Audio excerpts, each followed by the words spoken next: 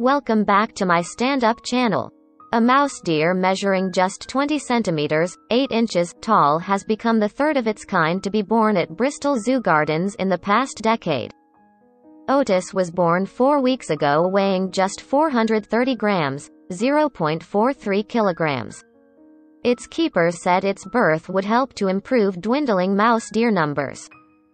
They said the Malayan mouse deer resembled Disney's Bambi character and was developing into a confident and healthy specimen. The zoo's team leader of small mammals Al Toyne said. For the first few weeks his mother kept him hidden and he remained quite stationary in the undergrowth. But now he is moving around a lot on his own.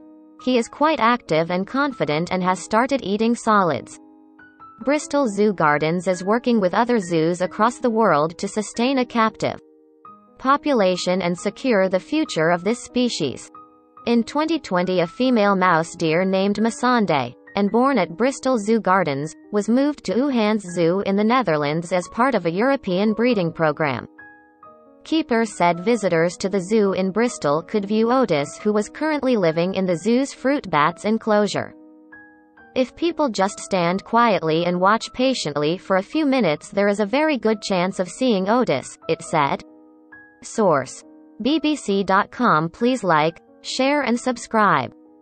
Thank you for watching.